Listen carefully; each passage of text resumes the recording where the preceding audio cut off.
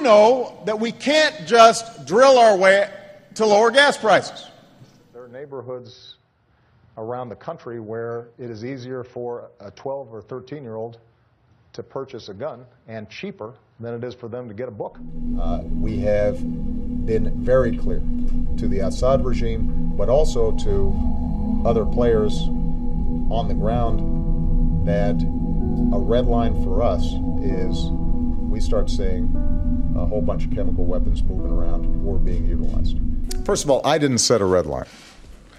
The world set a red line.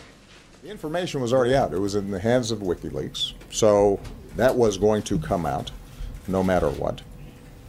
Uh, what I was concerned about in particular was making sure that that wasn't compounded by potential hacking that could hamper vote counting, affect the actual election process itself.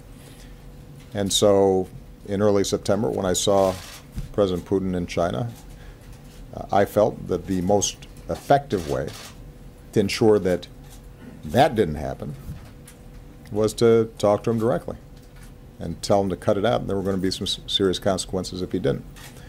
Uh, and in fact, we did not see further tampering of the election process. But the leaks through WikiLeaks had already occurred.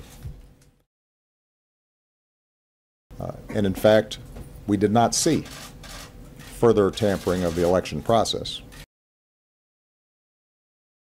Uh, and in fact, we did not see further tampering of the election process. Uh, and in fact, we did not see further tampering of the election process.